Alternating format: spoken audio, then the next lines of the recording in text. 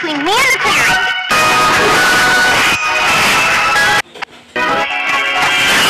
Phew.